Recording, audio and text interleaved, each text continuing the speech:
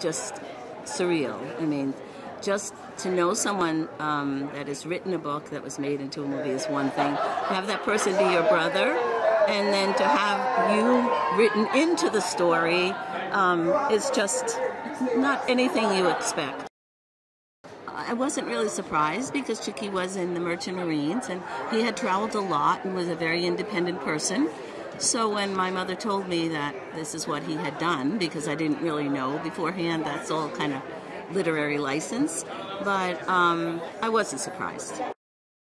Doesn't really depict all his craziness, but he's a wonderful, warm-hearted, great guy. But he is a little crazy.